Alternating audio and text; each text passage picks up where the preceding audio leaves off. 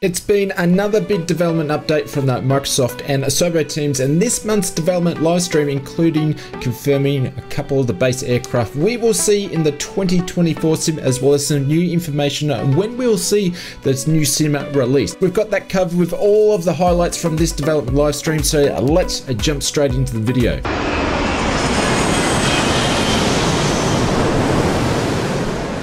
Kicking off this development live stream, the team updated us on the Antonov 225, which has sold over 98,000 units since its release. All the funds from the sales of the first 12 months of the AN 225 will be donated to the Antonov company in the aid to either rebuild or commemorate the Antonov 225 in some way, which is a great news from the team. This also shows some insights into how much or possibly how many dollars could be uh, flowing through the Microsoft InSim market marketplace store with sales from their own aircraft, as well as fees they're charging from sales for third party products. Really interesting to see. Jorg, the CEO of Flight Sim, next shared some results of the Dune 2 DLC launch after the first three weeks since the DLC was released. It had become the third most downloaded product behind the Top Gun 2 and the Pelican from the Halo ship.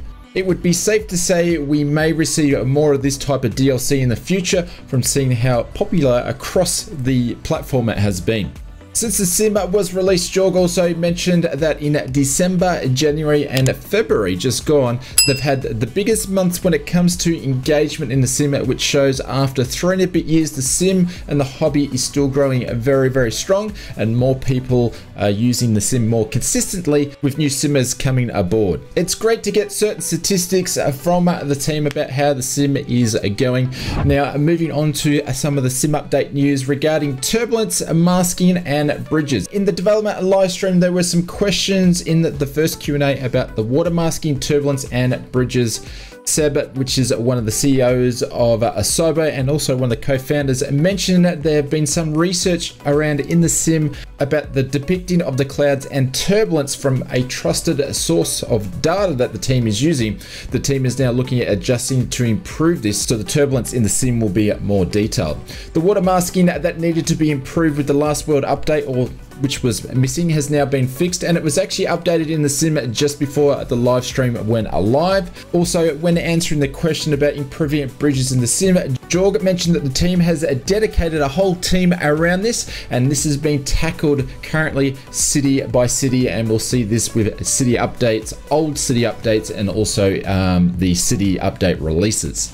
Moving on to the next sim update, which is sim update 15, which is still scheduled to release on the 26th of March. This was pushback of the original release date that was scheduled for mid-Feb. Jorg also mentioned that the release may get pushed back a few days more as this is a big update and they want to make sure it is working to their expectation. That being said, we will feature the sim update and some of the other details that were mentioned in an upcoming weekly news video that we'll release later on this week. The team did mention that some features and some performance updates that we haven't seen before when it comes to the sim, which is stability, WASM memory, and LOD changes for Xbox when it comes to sim update 15.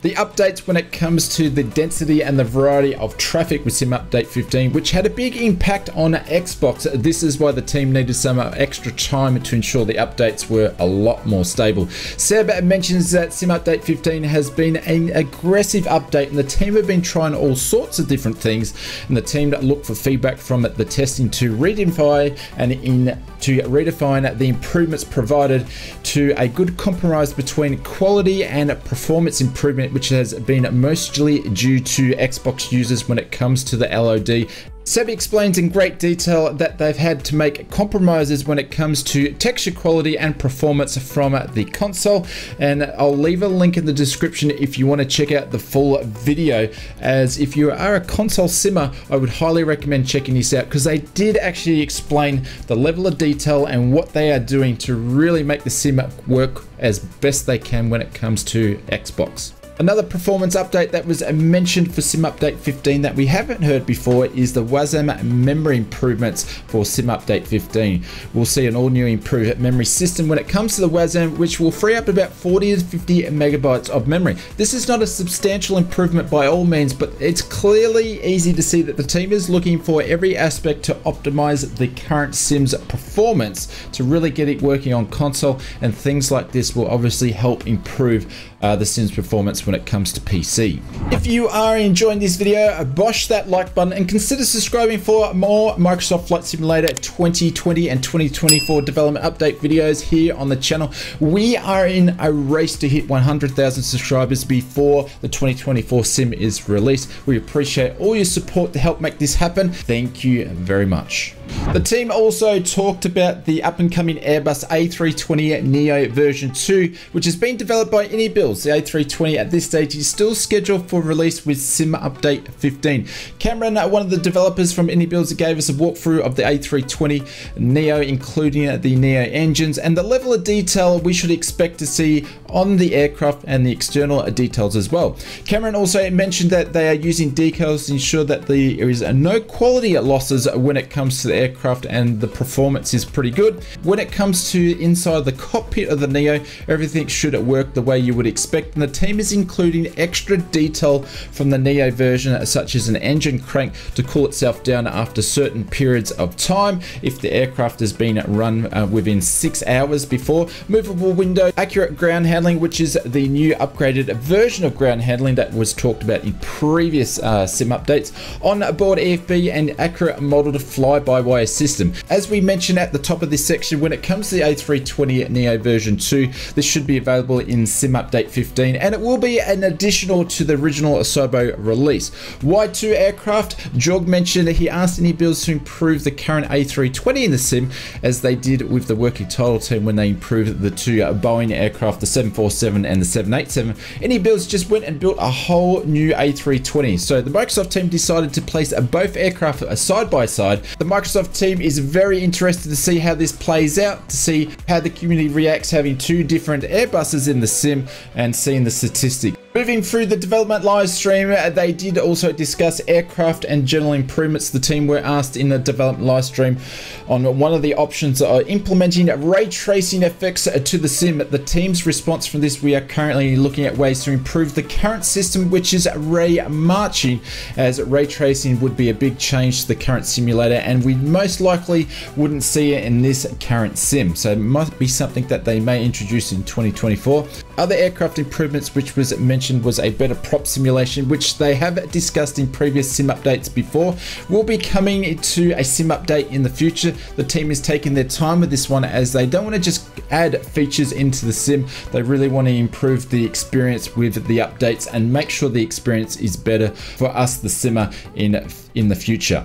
A suggestion that then come from the community about improvements to the sim about adding a dynamic LOD to create a more fluid sim when it comes to PC. The team did mention that this is currently implemented in the Xbox version and works quite well. However, they did not think about a PC version and Seb mentioned that this is a great idea and they will add this to the backlog list for investigation and it looks pretty promising that we actually may see this introduced into the PC version version of the sim sometime in a future release those were just a few things that were mentioned that we haven't heard about when it comes to Sim Update 15 just yet. And moving away from Sim Up 15, we've got some uh, new announcements for the team. And the first one is City Update number 6.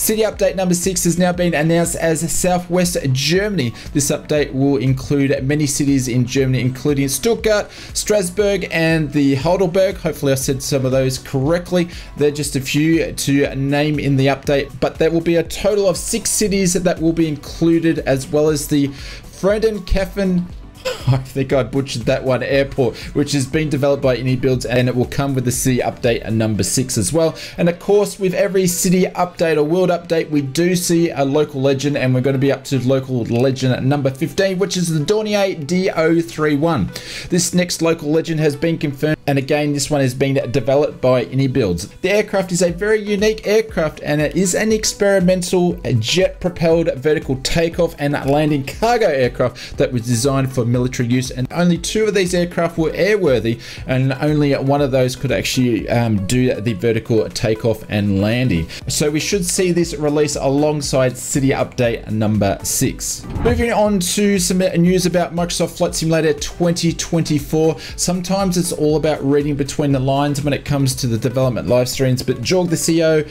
announced that Flight FX is developing two base aircraft for Microsoft Flight Simulator 2024.